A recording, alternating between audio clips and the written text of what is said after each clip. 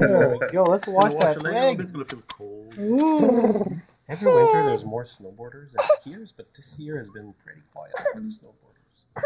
I think it was. They're watching the Olympics. Yeah, but it was very cold so I think there's just there was as many out there.